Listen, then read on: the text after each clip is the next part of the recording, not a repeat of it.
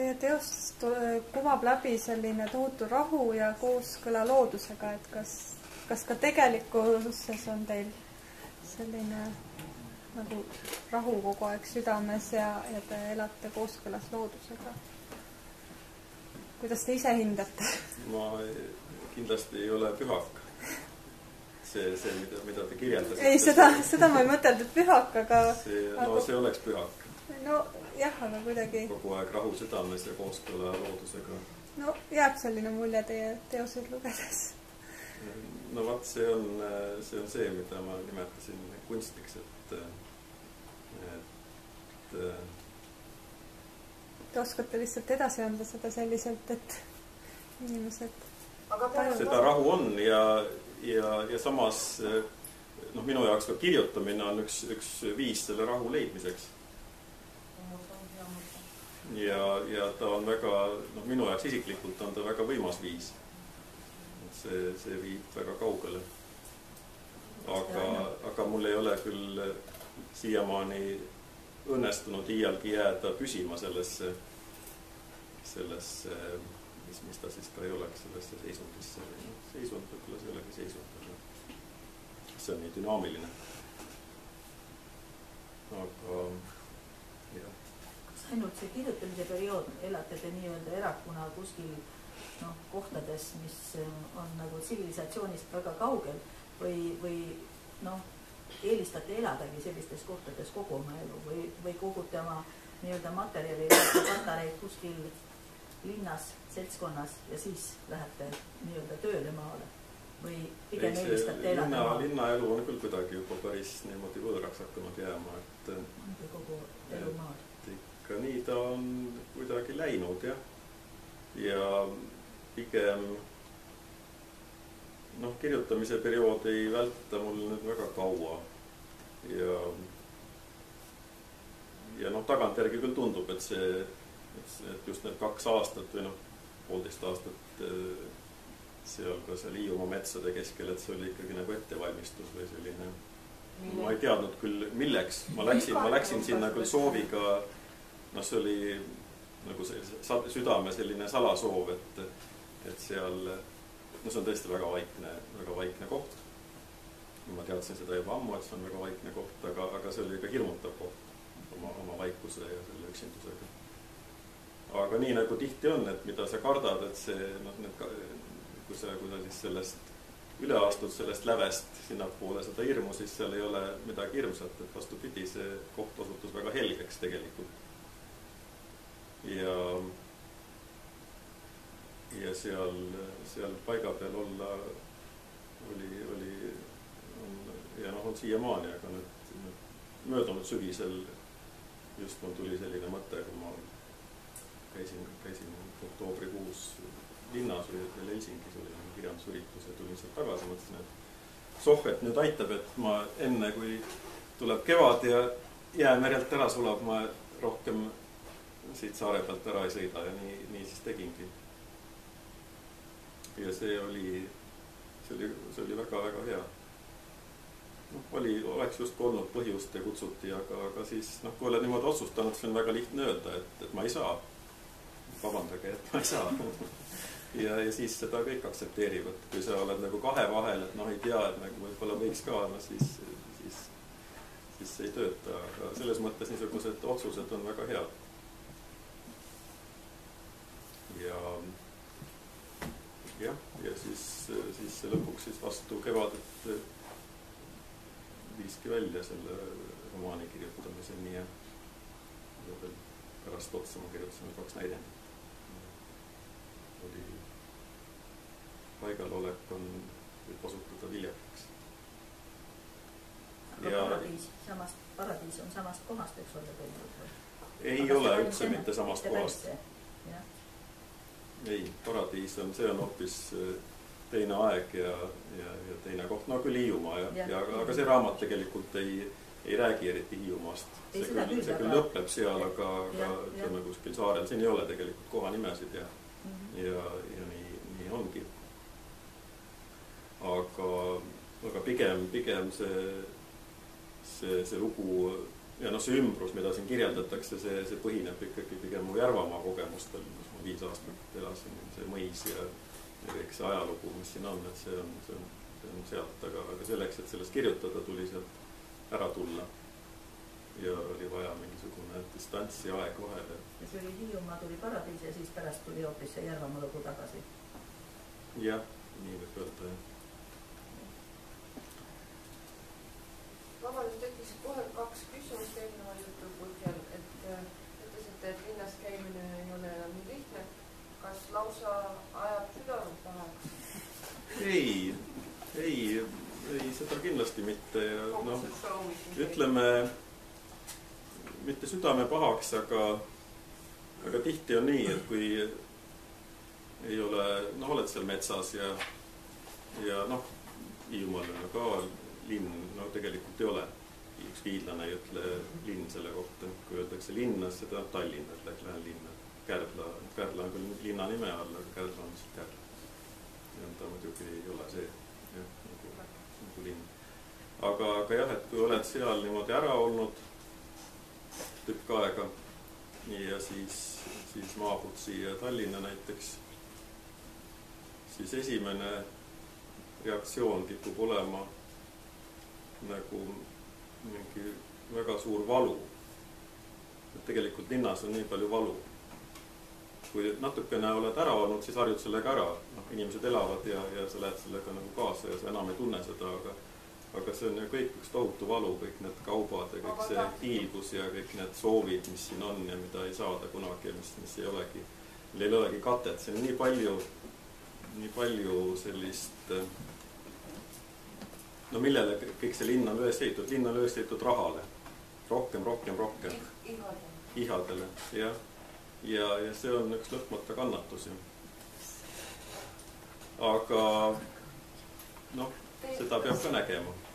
ja selge, aga teine küsimus oli siis kohe, kas on olnud seal pärapõrgus olek muutunud kunagi täiesti talumatuks siuksest väiksest loodusest ja üksinda? ja loomulikult seda on tulnud ette. kuidas sellega hakkama saavad? vanasti ma siis sõitsin linna aga hiljem? hiljem ma enam ei sõitnud, siis lihtsalt äh, lasin äh, nendega, ei, see, see aitab muidugi veel vähem kui linna sõitmine. aga olen ka seda proovinud ja noh, kas nüüd täis, aga, aga ühesõnaga see on raudselt ei aita, ei aita üldse mitte midagi. aga, aga nende, nende meelemasendustega on ka selline asi, et, et eks neid on ka vaja. ma sellest aru saan. ma küsin sellepärast, et me tükk aega mõtleme, et äkki põgeneda ka kuhugi.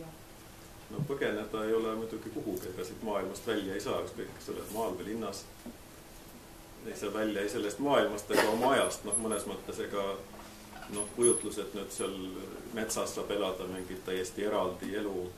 aga teie arvates, kuna teil on see suurepärane kogemus näiteks, kui lapsi viies sinna keskkonda, on see pigem karuteene meie maailmas või hoopis õnne avamine neile?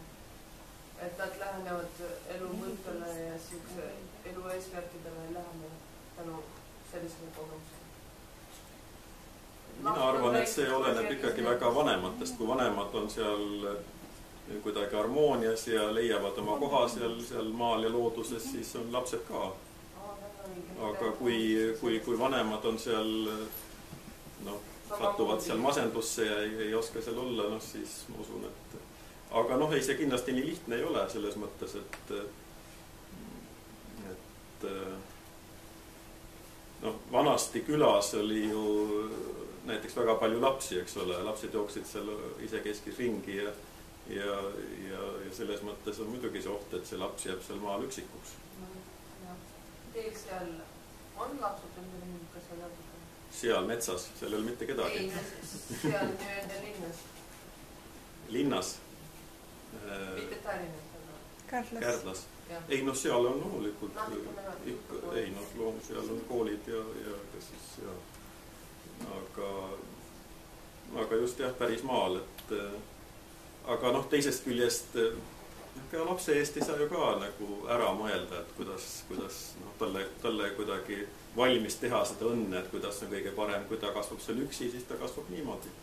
ja see on mõnes mõttes on see mõnes mõttes väga väärtuslik, see on, see on hoopis teistsugune lapsepõlv kui, kui teistel lastel. kui tal veab, siis on tal sellest elust kadu, kasu, kui tal ei vea, siis on kahju, aga niisamuti on linnas, kui tal veab, siis, siis on tal kasu sellest, et ta siin teistega suhtleb ja ka mõni mõnel läheb halvasti. noh ja nii. et seda ei saa kuidagi, kellegi elu ei saa selles mõttes ette, ette planeerida. me ei tea, et tema. jääb ainult lootus.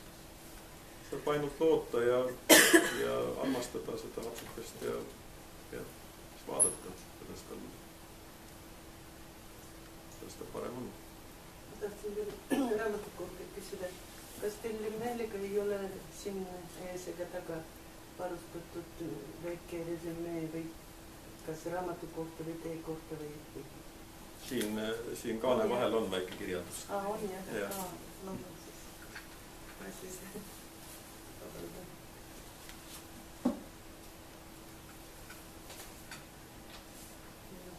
aga kuna sellest mandalast siin juba juttu tuli ja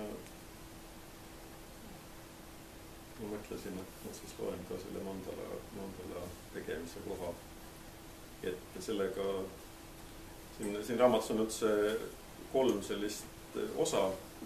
esimene, noh, alguses on väike sissejuhatus, siis on see osa Joosep, mis on, mis on siis selle tegelase ja kirjaniku poolt kirja pandud niisugune tõeline selline kassilugu ja, ja lastelugu. ongi, seal ongi tegelased, tegelasteks on see see väike poiss Joosep ja siis tema ema ja venna ja, ja kassi. ja siis on osa nimega Mandala ja see osa nimega Mandala siis lõpebki Mandala tegemisega niimoodi, et sinna sellesse vanasse mõisa saabuvad noored mungad ja, ja hakkavad seal mandalat tegema.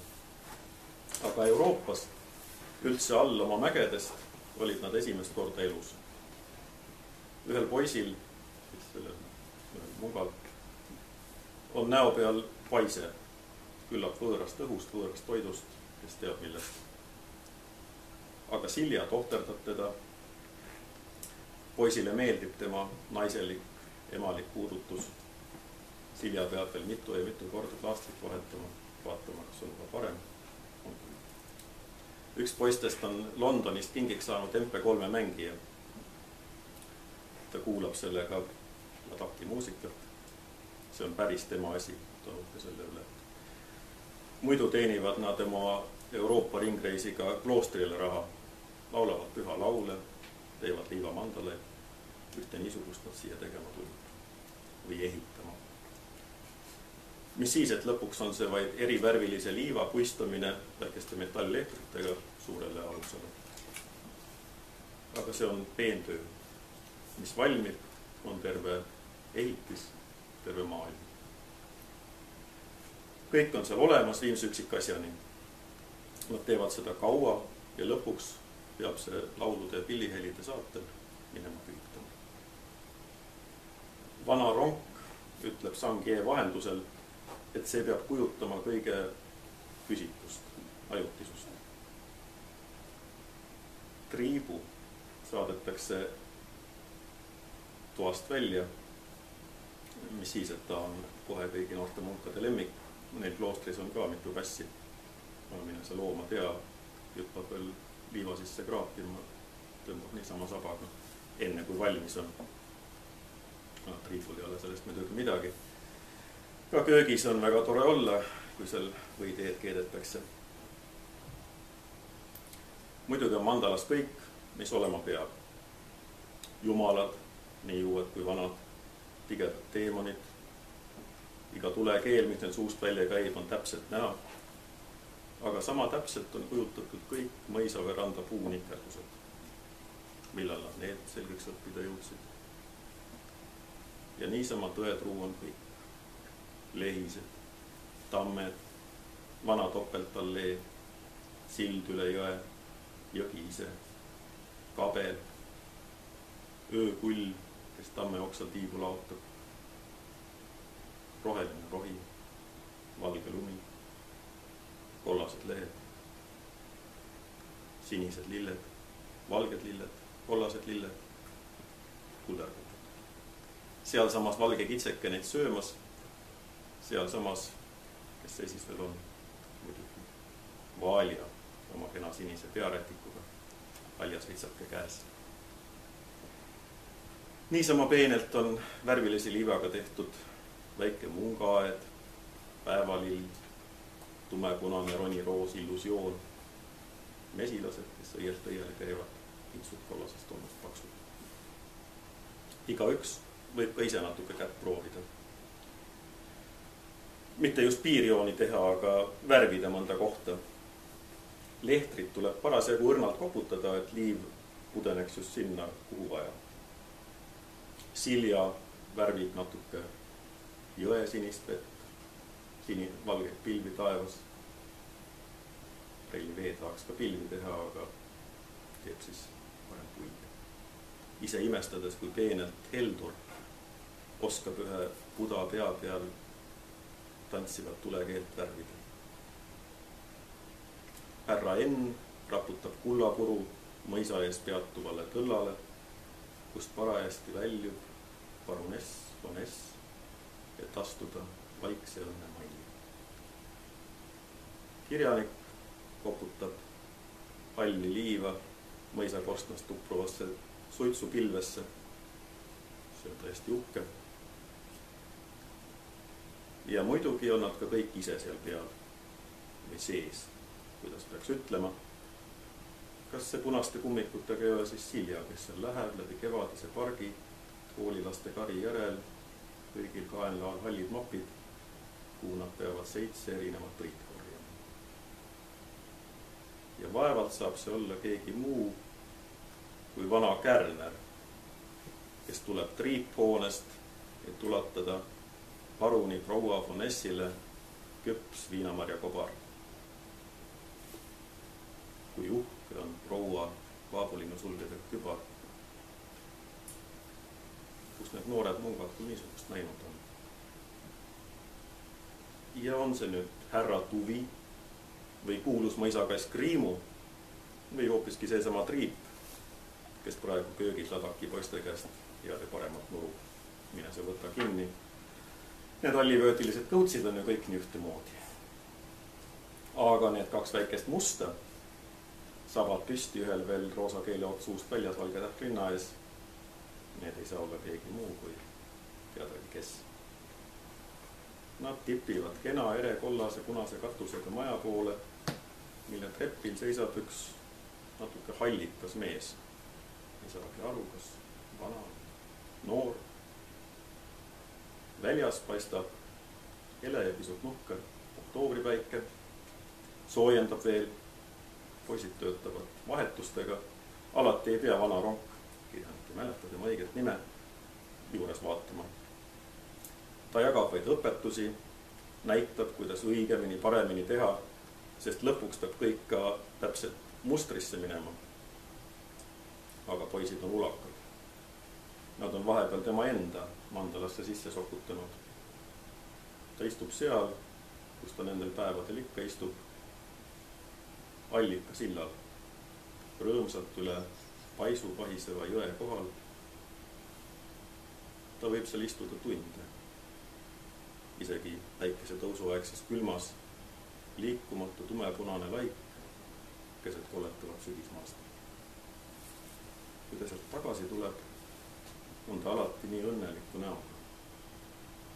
Sangie seletab, et üle kõige meeldib talle just see veekohin see on täpselt samasugune nagu neil seal mägedes kodus. viimaks on mandala valmis. isegi kitsarööpmeline raudtee on peal. vedur sõidab tossutades jaama ette, jaamaülema kass võtab reisijaid vastu.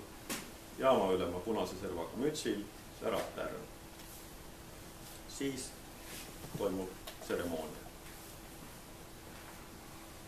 puutakse pikki pasunaid, mungad jorisevad laulda, nii et vana mõis vibreerib kaasa nagu mõne suure puuspilli võlakast.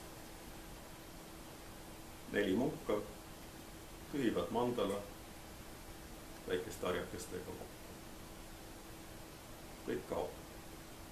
Majad, lilled, taevas, jõgi, inimesed, teemonid, kurat.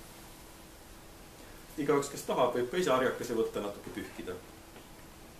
roosakas allikas liiv, mis sellest kõigest saab, kogutakse ühte suurde kausse. sellega minnakse rongkäigus jõe äärde. kõige ees astuvad pühalikul sammul nelja Kalliskivi ühingu liikmed, aga seal on ka Vaalja, tal on kodust isegi üks kitsetall kaasa võetud. see ei jää temast ka sammugi maha, emast hüljatud Vaalja luhti tall, nagu ta on. muidugi Silja oma punaste kummikutega, härra ja proua Enn. proua Ennil on veel sügise teemaline kübar peas seda kaunistavad viinamarja kobarad ja üks paabuliinu sulg. noorte munkade näod on nalja täis, näha on, et nad tahaksid poerust teha. päike paistab. langenud lehed lõhnavad sügise järele, vana ronga moodi munk, puukiles pilli. rongkäigu lõpus pantsivad kolm kassi, üks suur pöödiline ja kaks väiksemat musta ühel veel roosa keeleots suust väljas ja valge tähkline ees. jõe ääres käib kõik. vana munk kallab Mandala liiva jõkke. kirjanik jõuab veel näha, kuidas see kiiresse voolu kaob nagu suur roosakas hall kala. päike paistab, jõgi kohiseb, õhus on langenud lehtede lõhna. inimesed lähevad naerdes ja juttu ajades mõisa poole tagasi, kassid hüpates ees, sest teadagi, seal ootab neid kõiki pidulaud, vaalja küpsetatud pirukad, uut tee, tort. siinkohal meil on ka tort, et kirjanik saaks ehk selle lahti lõigata, meil on tore veel vestelda ja küsida talt. siis toon, toon tordile siia. ma küsiks, et kellele te annate oma lavastada ja mis suhe teil on Eesti teatriga üldse? kuidas teile meeldib ma päris aastaid ei käinud, ütleme, ma olin koolipoisina ja ülikoolipõlves ma olin päris suur teatris käija. aga noh, siis ma ka läksin Hiiumaale ja, ja üldse vahepeal olid mõned sellised suhteliselt nigelad teatrikogemused ja ja ma aastaid nagu julgenudki teatrisse minna, et seal karjutakse kõva häälega ja, ja tolmutatakse niisama, et ei, ei taha. aga nüüd ma olen tasapisi hakanud jälle kuidagi käima ja nüüd sügisel noh, ka seoses nende näidendite kirjutamisega ja siis kutsuti teat-, Tartus teatrifestivali vaatama ja noh, seal oli ka igasugust, aga aga noh, ju ma olen ka leplikumaks muutunud. Ja no oli, oli ka üks suur elamus, jah.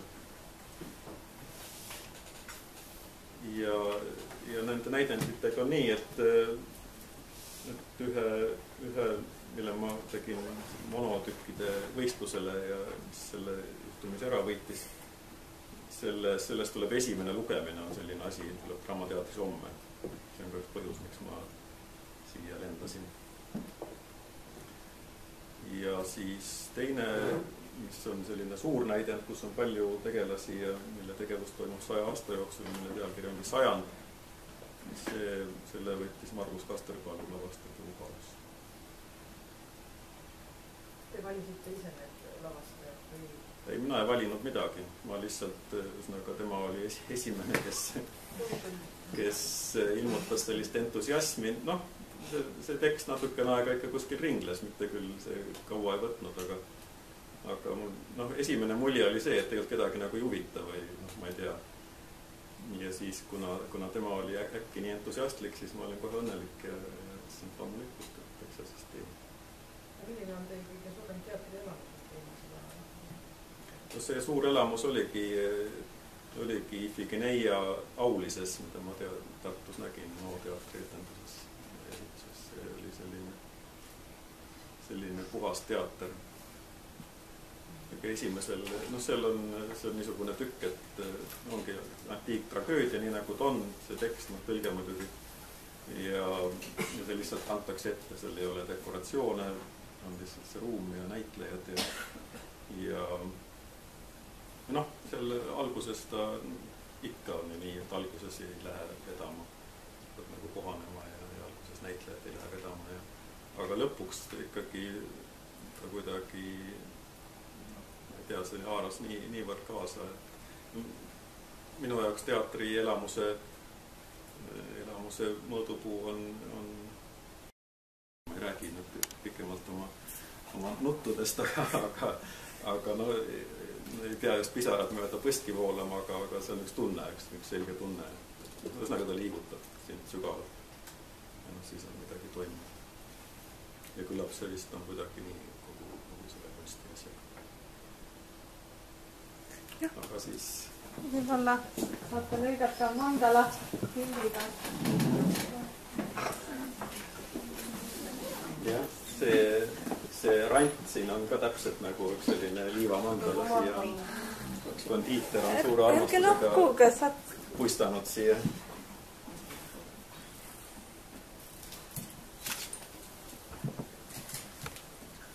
aga no ma ärritan seda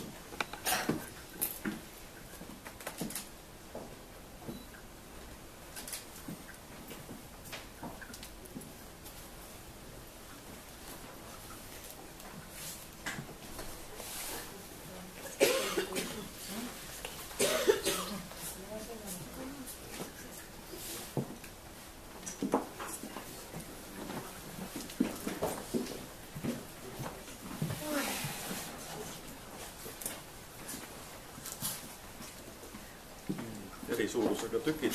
elu on ebaõiglane teatavasti. kellele suur, kellele väike.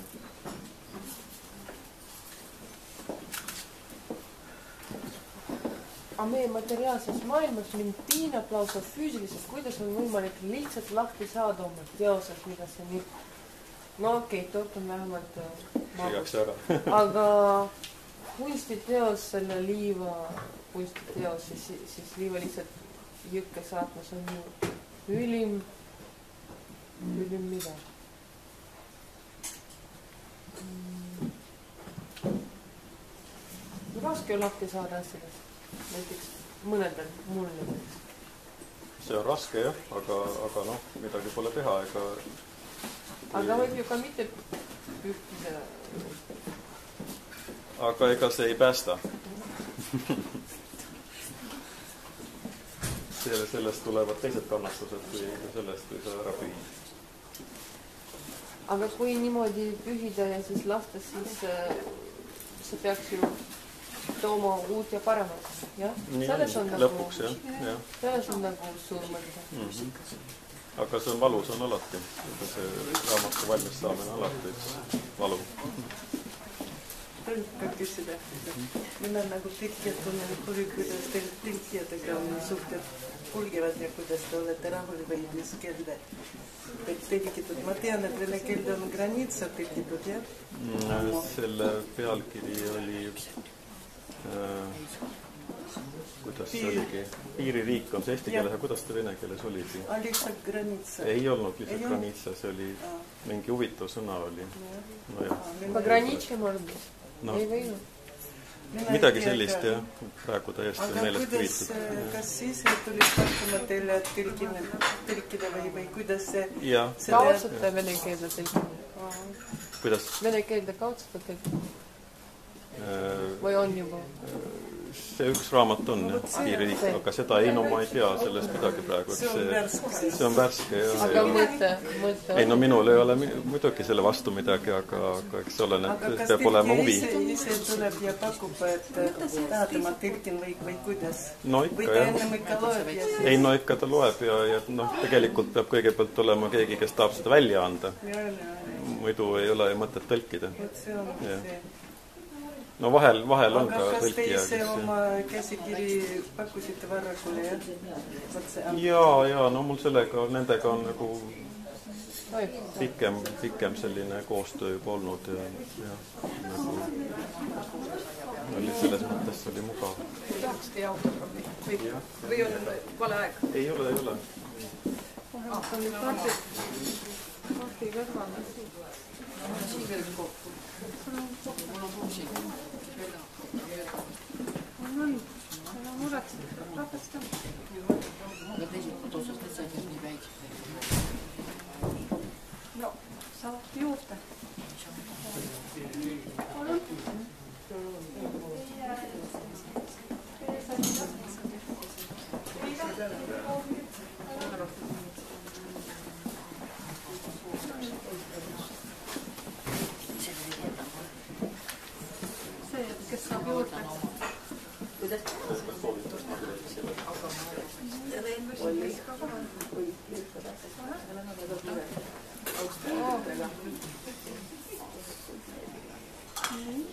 muusikat saavad otsa vaadata. no meil on teised tahaks.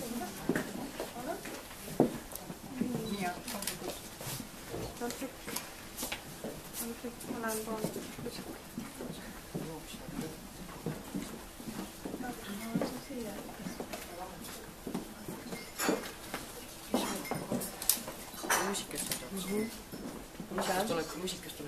Mm-hmm.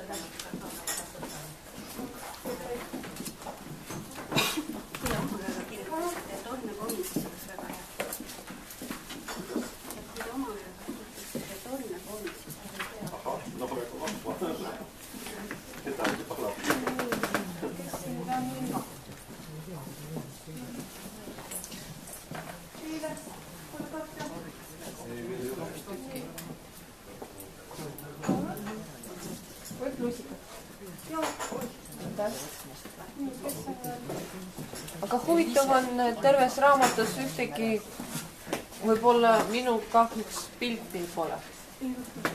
seal võiks olla mõni kipp. või ma saan aru, et te jätsite seda lugejate hoolde, jah? unistus. on keeruline asi ja pigem minu, minu meelest siin on pilt üle arugi. annetist,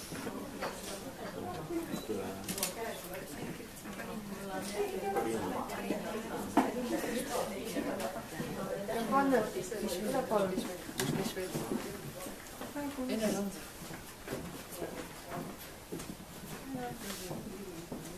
kas te ise küpsetasite, jah? ei, tellisime ikka oli ja polnud muidu. Tampest.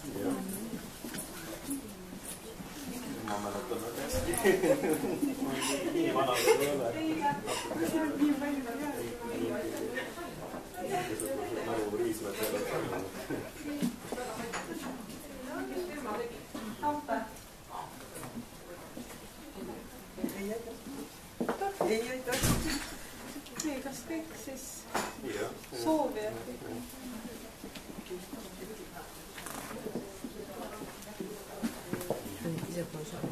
no jah. tegelikult pole ise saanud, aga ma hakkan ootama, kuni ma saan muidu. ütleme, ta ei ole mingisugune esimene lemmik olnud, aga, aga jah. just lugesin ristikiri kirju. ostsin sealt konverentsilt.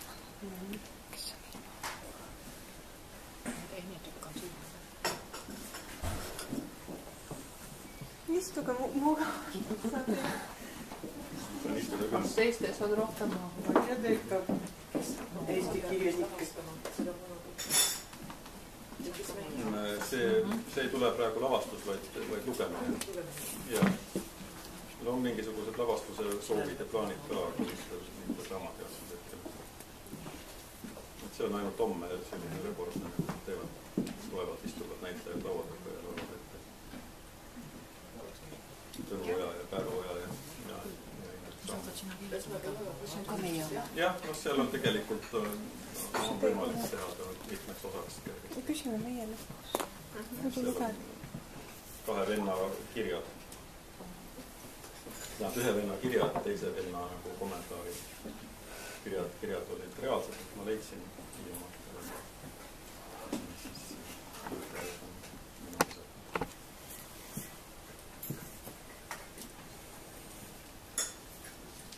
mis võib ka tähendada, et lugedes võib tekkida siiski soov mängida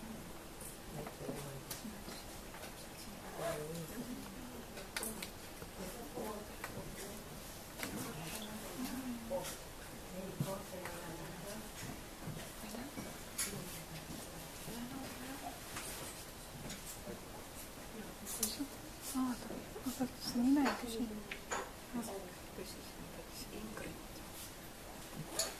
ma ei tea, aga kus see on.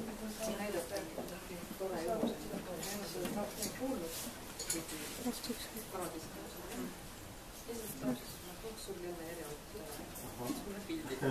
no sellise pildi minu meelest nagu paremat juhust nagu ma mõtlesin noh pidi teha palju asju aga just sellisega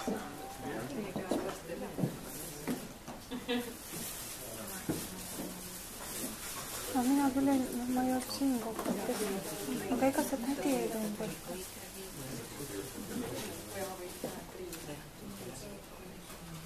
aga see tädi ei tulnud, et ta oleks varem lahkus. keegi teab.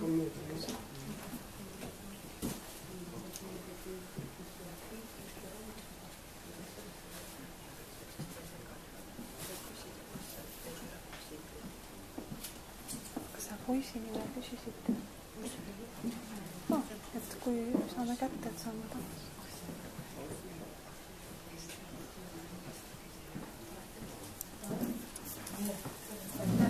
palun, palun istuge, kui on küsimusi, võite esitada. no ja mul on veel üks küsimus, vabandust.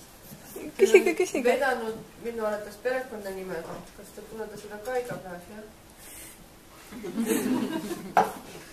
sellega nii ja naa. veel äh, hiljuti käisin ühes raamatupoes äh, nagu raamatuid allkirjastamas niimoodi lihtsalt noh, tahtsin. nii ja siis see raamatupoe müüja küsis, et see ei ole ju teie päris nimi. õnne, õnne, õnne, palu palju, palju. ma pidin seletama, et paraku on. aga varem te kirjutasite teiste nimede all no ma olen kirjutanud ka teiste nimel, ma Jah. alustasin ikkagi äh, oma õige nime all, see seal jah, ei seal oli ka selline lugu, et kui, kui ma esimest eh, seda luuleraamatut avaldasin mingi kaheksakümne kolmandal või neljandal aastal Eesti Raamatus, siis seal see proua, kes oli seal peatoimetaja või eesti keeles toimetaja, tema nagu kui ma hakkasin, noh, kui oli juba otsustatud, et ilmub ja see kõik oli muidugi väga tähtis ja pidulik seal. ja siis eh, ükskord, kui ma hakkasin tema kabinetist ära minema, siis ta hõikas järele, et aga võib-olla mõtleksite pseudonüümi peale. noh, eks ole. ja siis ma mõtlesin, aga ma ei suutnud siis küll midagi välja mõelda targemat. aga hiljem teil olid need teised nimed, ja esimene romaan jah, selle, kui see ilmus, siis selle ma avaldasin jah. et kust need nimed tulid või millega, kuidas te need tuletasid? selle, selle tode ma leidsin ühest äh, Riia Polütehnikumi lõpetajate nimekirjast aastast tuhat kaheksasada üheksakümmend üheksa, sellist, tuhat üheksasada kümme. seda ma oleks koolis teadnud.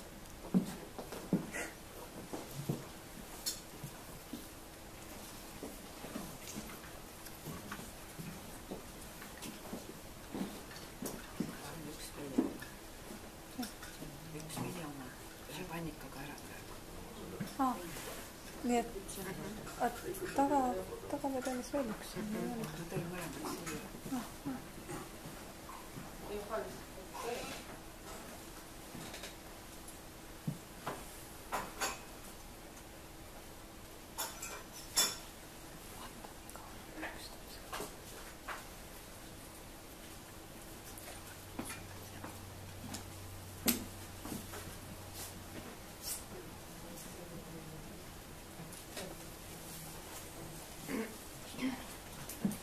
aga kust see Anton Nigov tuli? noh, see võiks olla mu nimi, kui, kui vana, no peaaegu, kui vanaisa ei oleks äh, eestistanud oma nime, siis, siis oleks minu nimi ka Niigov. ja no Anton on seesama, mis Tõnu teatavasti etümoloogiliselt. nojah, seda Nigovit vist ei teadnud muidu, kust see tuli. ja tal oli üks selline nimi. Küsiks veel nende mandala kasside kohta, kas need jäid Esnasse või sõitsid Hiiumaale? Hiiumaale ikka. kus ma neid jätsin? kaua teil kassid on olnud üldse? no need on nüüd seitse aastat olnud. aga varem on ka kasse olnud teil? noh, seal maal on ikka olnud, aga kuidagi see on, see ei olnud va- vanasti nii isiklik kuidagi, olid lihtsalt ühed kassid. Meid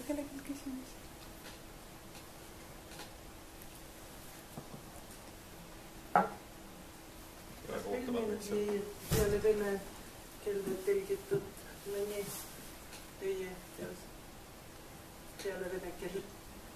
ja noh, kõige rohkem seda piiririiki on, ma ei tea, vist kakskümmend keelt on ilmunud. üheksateist või kakskümmend, ma kõige rohkem uuesti lugenud.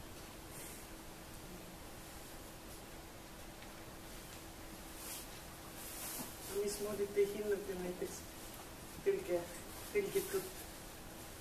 enamasti ma ei oska seda hinnata. aga Hiinakeelset tõlget ma isegi ei oska lugeda üldse. või heebrea, no heebrea vene, natukene oskan, aga no tõtt-öelda ei ole teda läbi lugenud ja tegelikult ma ikkagi ei oska hinnata. no ta on kindlasti hea, Veera Ruuper oli, oli hea tõlkija ja, ja aga noh, selleks, selleks peab äh, territoorium, kes jah, no ikkagi oskad hinnata oma emakeeles või noh, kui on otsesed vead, siis, siis saad aru. aga ma väga ei ole ka tahtnud neid tõlkeid lugeda.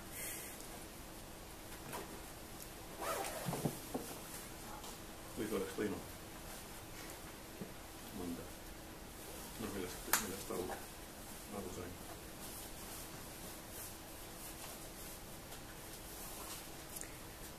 no ma ei ole veel lugenud seda raamatut, tekkis mul huvi, sest mul on ka endal kass ja olen kassi armastaja. ja kui see on tõesti nii- nii-öelda kassitõus, siis noh, väga huvitav. jah, päris läbi lõhki kassi lugu ainult ei ole, aga aga kassid on seal läbivalt kohal küll, jah. Mina enne mõtlesin tükk aega, kas ma hakkan lugema või ei hakka, sest mulle hirmsasti ei meeldi, kui nende loomadega midagi juhtub ja ma kuulsin mm. raadios, kui seda loeti ja mõtlesin, ma ei tea ikka, kas ma ikka loen või ei loe, siis ma ikka võtsin südamerindel, ma ikka loen Mm. no siis kadus triibu ära, ma ütlesin, no nii ikkagi, no päris ei saa ja siis ta ilmus järgmises peatükis välja, nii et, nii et kassidega ei juhtu seal mitte midagi, siis mulle väga meeldis, et see oli selline üks vähestest raamatutest ja, ja lugudest, kus tõesti on noh, nii et Nendega juhtub palju, aga nad juhtub jah, aga kõik asjad lõpevad õnnelikult, nii et selles Jah. mõttes oli ta hea. kui kasside seisukohast võttes, et aga kui rohkem küsimusi ei ole, siis aitäh Tõnu Õnnepanule teile. ja kui keegi soovib küpsist kohvi, palun veel. ja Viimsi raamatukogu poolt Viimsi valla raamat teil on väljas